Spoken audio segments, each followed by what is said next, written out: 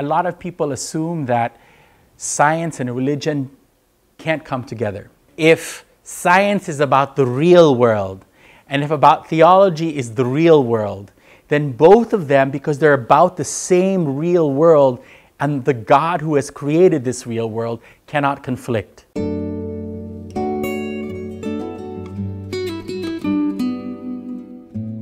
I was born here at UST and I was baptized at UST.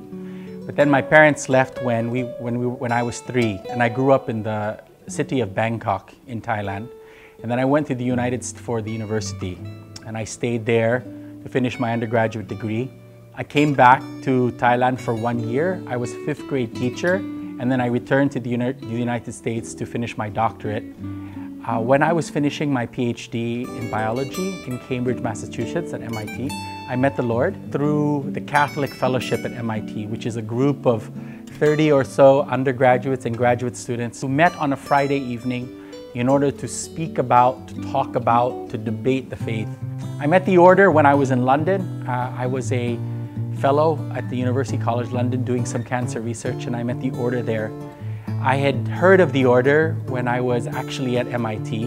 I had met another student who was doing his PhD in physics and he had told me about the Dominicans.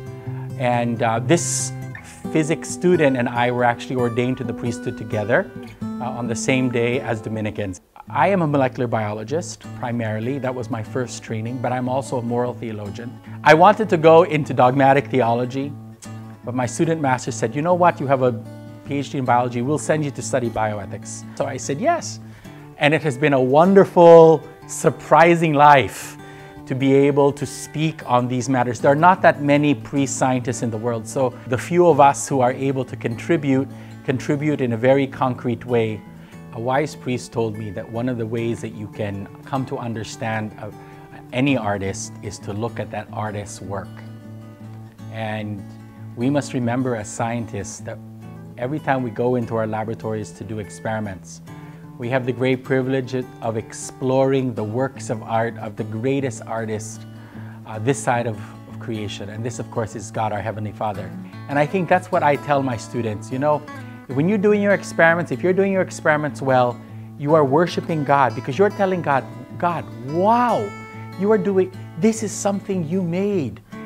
And I am trying to understand what you made. And in doing that, you're worshiping Him. The science allows me to develop a sense of wonder, to see my Savior's footprints in, in all of the work that, that we do, to see His fingerprints over all of our experiments. Um, faith and reason come together. So I tell my students, they work hard, I pray hard, and together we can do good science.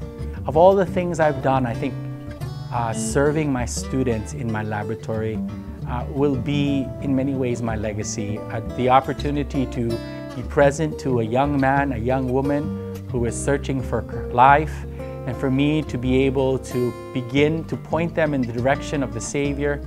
Wow, for a Dominican, that's the best.